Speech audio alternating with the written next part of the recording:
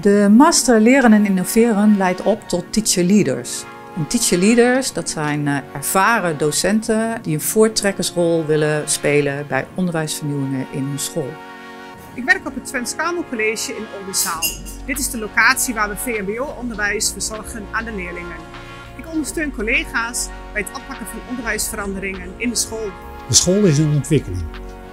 Het onderwijs is een ontwikkeling. Dat vraagt ook van docenten dat ze uh, anders moeten gaan werken dan ze hadden gedaan.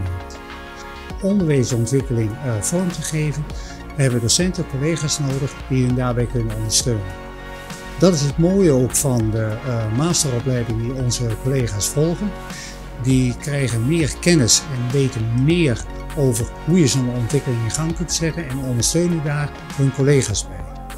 De master uh, is opgebouwd uit drie leerlijnen. In de eerste leerlijn krijgen de studenten theorie over leren en leeromgevingen. In de tweede leerlijn leren zij onderzoeken en ontwerpen en dit toe te passen in hun eigen onderwijscontext.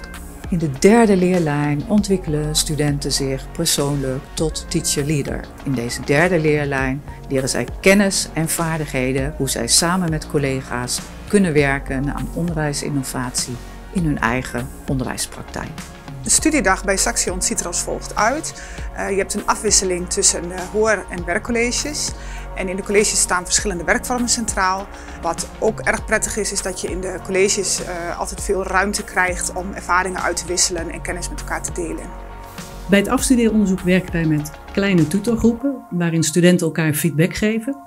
En als tutor stel ik daarbij ondersteunende en verdiepende vragen. Ik merk dat het voor studenten heel motiverend werkt dat ze elkaar uh, ja, echt ondersteunen in hun leerproces. Het mooie van uh, uh, de opleiding die Marjolein volgt, is dat zij onderzoek doet naar de praktijk zoals die nu gaande is.